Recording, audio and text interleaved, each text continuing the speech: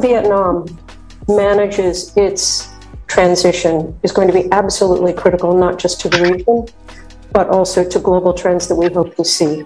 Vietnam is in a really unique position in Southeast Asia. Vietnam is, has not indicated an interest in participating in the ADB's um, energy transition mechanism for coal retirement. So I think Vietnam is a really good example of a country that needs to be having deep, deep conversations with all of the different players at COP about how to lay down a real transition pathway and where support for that pathway is going to come from.